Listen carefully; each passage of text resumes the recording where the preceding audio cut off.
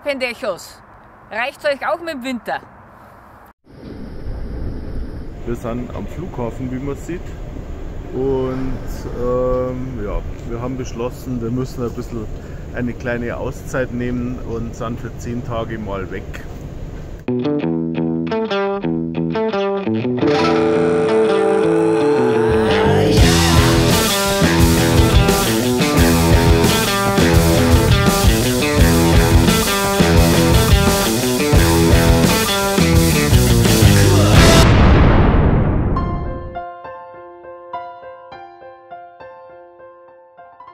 Servus, liebe Leute. Ein Leben mit Beule ist auch nicht immer einfach, vor allen Dingen im Winter, wenn sie nicht da ist. Fünf Monate ohne eigenes Auto. Hauptfortbewegungsmittel in dieser Zeit ist das Rad oder der Fußbus. Der fährt ja immer. Grundsätzlich ist der Radius daher im Winter etwas geringer, macht aber nicht so viel Laune. Um ein wenig dem Winterblues zu entkommen, sind wir nach acht Jahren mal wieder in ein Flugzeug gestiegen. Ziel Kanarische Inseln Fuerteventura. Und weil wir euch so lieb haben, nehmen wir euch natürlich mit. Viel Spaß mit unseren kleinen Abenteuern auf Fuerteventura.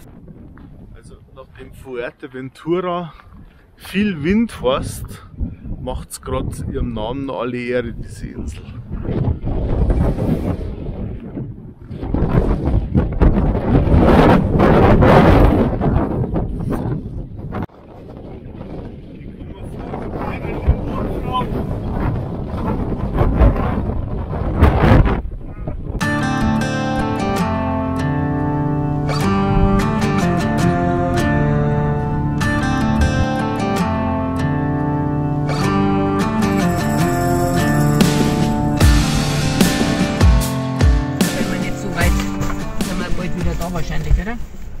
Brauchen wir jetzt nicht Wasser und das ganze Programm. Na, großartig lang ist die Wanderung nicht. Wir gehen zu so einem, ja, wie in Arizona, zu unserem Arch, The Wave, also in klein. Und ich frage mich aber, wie man hier bei dem Wind bisseln soll.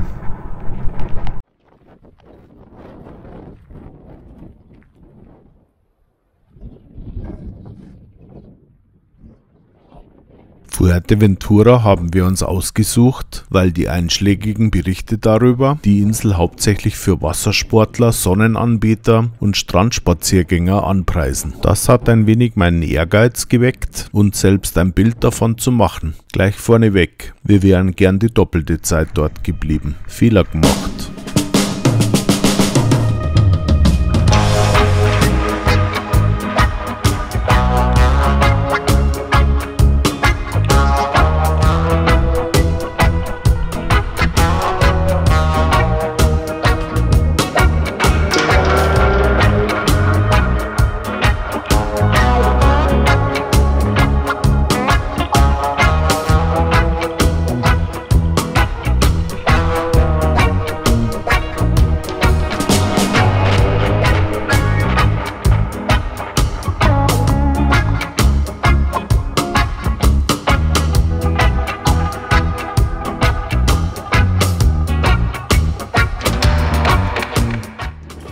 Den Rückweg treten wir direkt durch die Schlucht an. Der schaut einfach spannender aus. Im Grunde alles sehr übersichtlich, aber trotzdem empfehlenswert.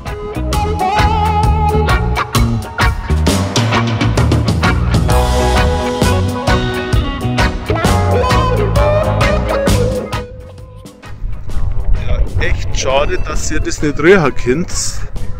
Kennt ihr Stinkbomben? Das ist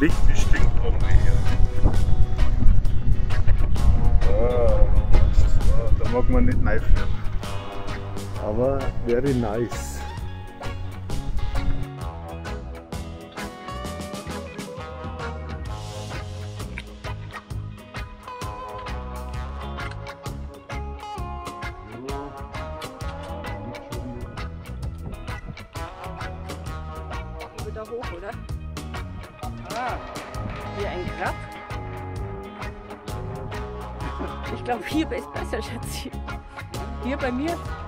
Da hoch. Hat aber lustig ausgeschaut. Also vom Unterhaltungswert bist du gerade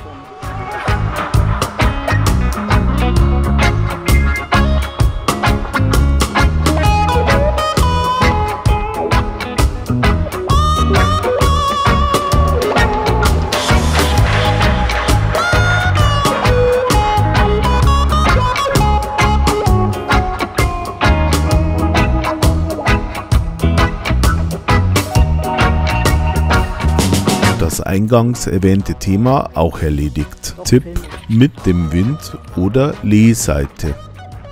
Arschfotos. Mhm. Super. Unser erster Eindruck beim Blick auf Kofete und dem westlichen Teil der Insel spektakulär. Auch der Blick vom etwas weiter nördlich gelegenen La Parette auf diesen Abschnitt der Insel hat uns schwer beeindruckt. Nicht umsonst haben wir uns diesen Teil dreimal angesehen. Zum Erkunden zuerst mit dem Auto, von Morojable eine Wanderung zu einer Scharte mit Blick auf Kofete und von Le Parette. Später dazu noch mehr. Hm?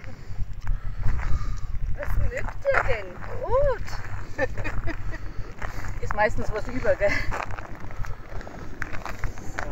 So, süß. Bei unserem zweiten Besuch durch ein Tal zu einer Scharte mit Blick auf Kofete waren auch die beiden Esel wieder am Start. Und diesmal hatten wir sogar altes Brot dabei. Sehr zur Freude der beiden Wegelagerer. Für uns ging es aber weiter Richtung Scharte. Vier Kilometer taleinwärts, ständiger Begleiter. Nein, nicht die Esel, der Wind.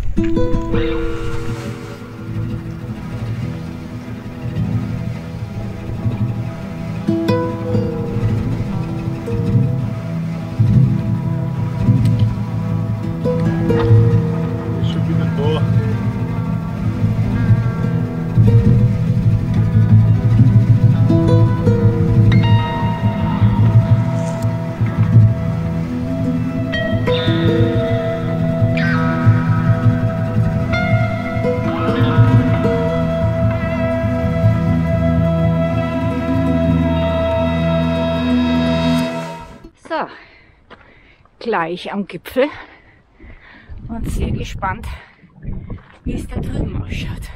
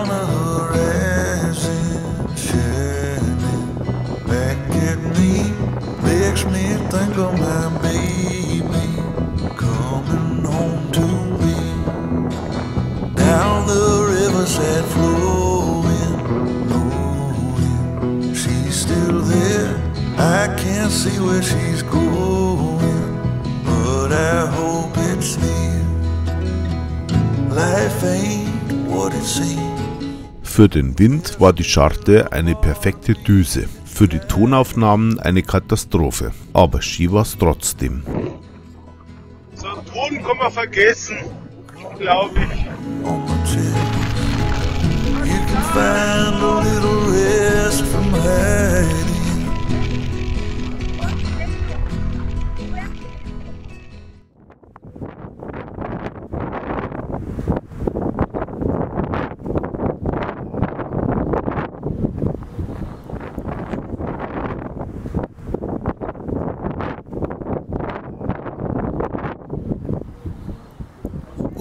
Fuerte war auch immer für eine Überraschung gut. Hier haben sich wahrscheinlich alle Fuerteventuricaner zusammengetan und einen Turm von 22 Meter Höhe gehäkelt. Ich liebe solche bekloppten Ideen. Aber wir waren ja auf dem Weg zu Piscinas Naturales. Das hört sich einfacher an, als es ist. Hin und reinhüpfen war unsere naive Vorstellung. Gut, dass wir uns vorher noch etwas gestärkt haben.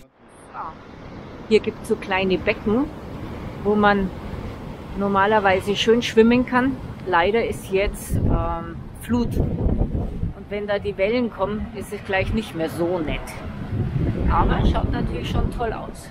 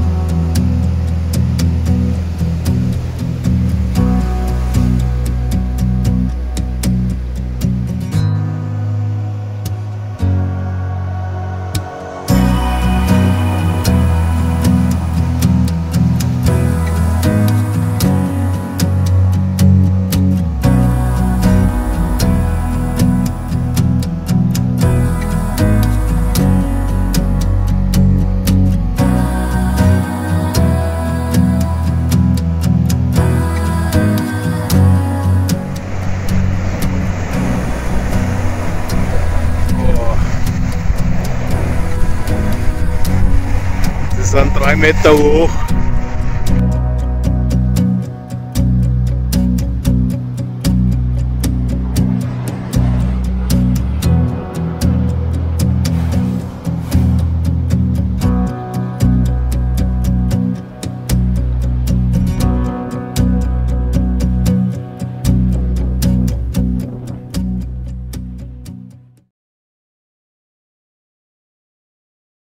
Wir müssen ehrlich zugeben, wenn man auf Reisen wochenlang in einem Auto wohnt, ist ein wenig Luxus auch mal schön. Halt mal ganz was anderes. Unterm Strich waren wir aber sehr zufrieden. Eine sehr gepflegte und saubere Hotelanlage. Den Reinigungsservice, der fünfmal in der Woche vorbeikommt, hätten wir auch gern dabei, wenn wir mit Beule unterwegs sind. Nur so einen schrägen. So, und dann kommt man in die Wohnung im ersten Moment nice. Haben wir uns auch ein Prosecco hingestellt und Gläser.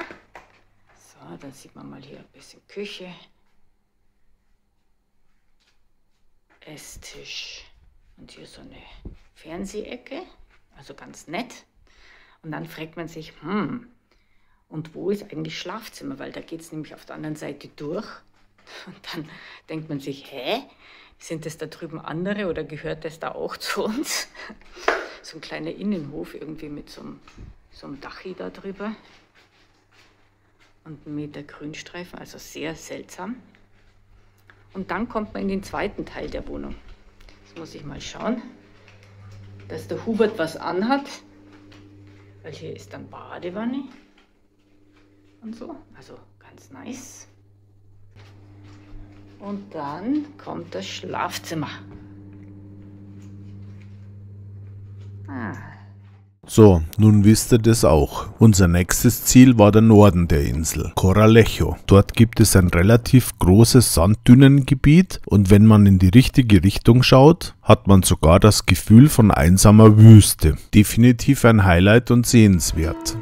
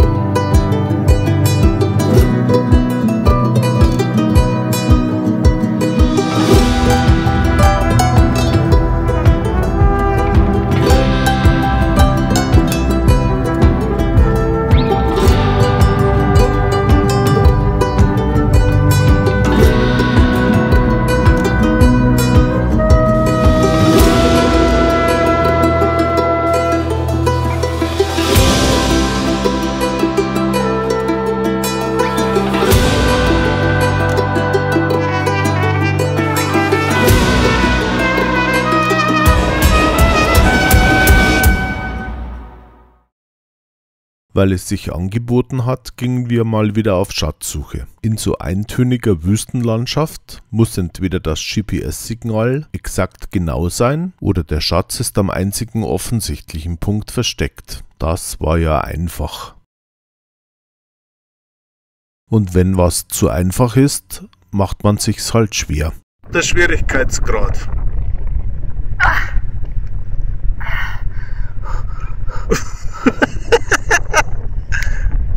Ich bin schon drum.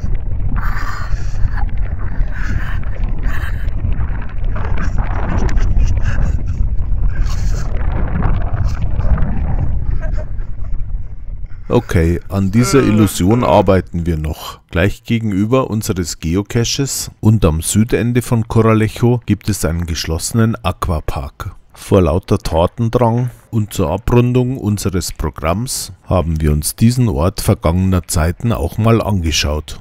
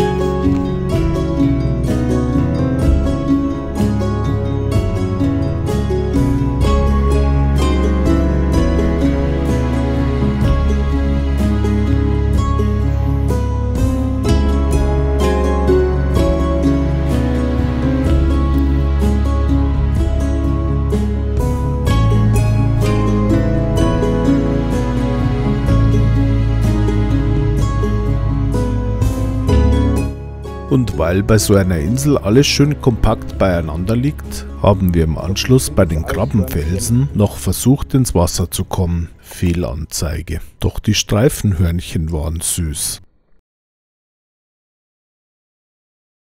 Für unsere Verhältnisse waren wir wahnsinnig aktiv. Ich zumindest bin mit Beule immer sehr gefährdet, wenn man nach der Fahrerei seinen Schlafplatz gefunden hat, angekommen ist, gekocht hat, den Tag ohne eine 3 Stunden Wanderung zu beenden. Unterm Strich hat jede Art des Reisens natürlich seine Vor- und seine Nachteile. Hier genießen wir jedenfalls auch die Schönheiten der Insel aktiv. Der Berg selbst ist zwar kein Riese, doch schließlich wollen wir anschließend noch zum skurrilsten Strand von Fuerteventura, dem Popcornstrand.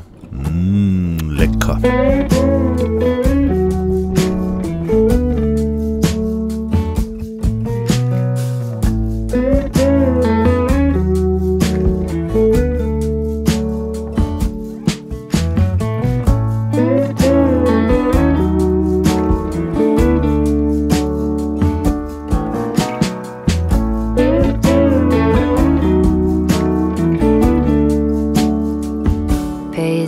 Attention to sound, the one that's coming from your mouth.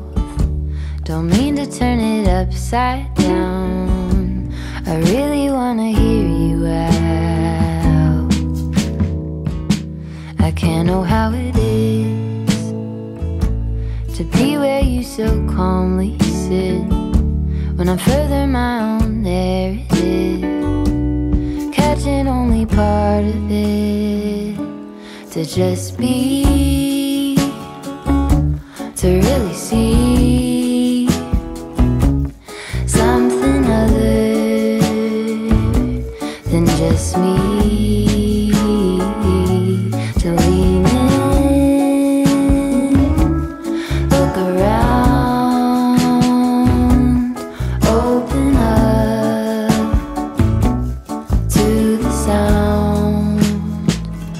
I could give you more than half an ear.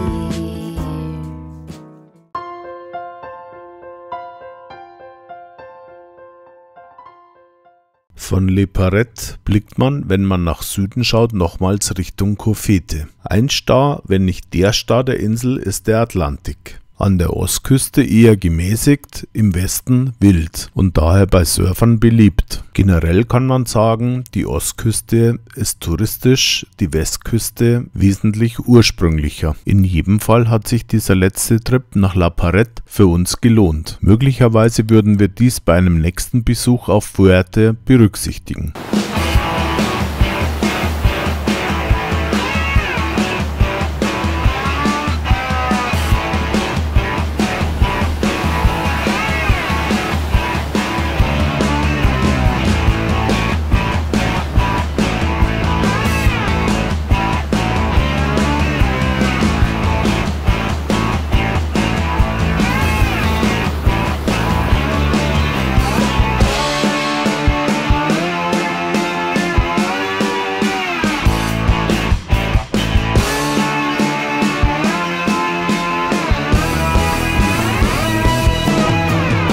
Nicht nur die Art der Reise ist etwas anders, auch das Video ist etwas anders geworden. Wenn es euch gefallen hat und ihr zu den 70% der Zuschauer gehört, die nicht abonniert haben, macht das. Schließlich abonniert man seine Lieblingssender doch. Und schreibt uns in die Kommentare, wart ihr schon mal auf Fuerteventura? Was hat euch besonders gefallen? Und vielleicht verratet ihr uns eher unbekannte Ecken, die man aber unbedingt gesehen haben sollte unser kleines Fazit.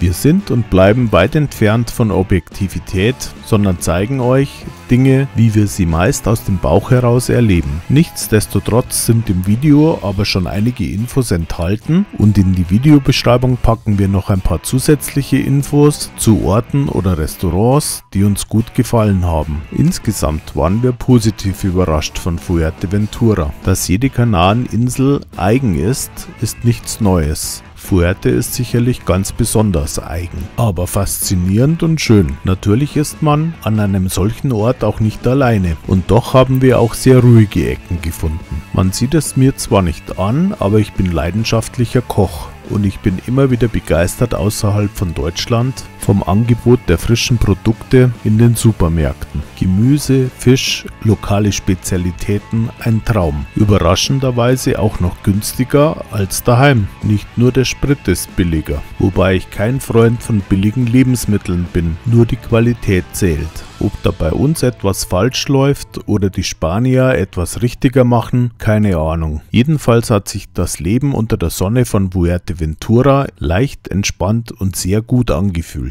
Daumen hoch. Apropos, bis zum nächsten Mal, euch eine gute Zeit. Bis dahin, macht's es gut.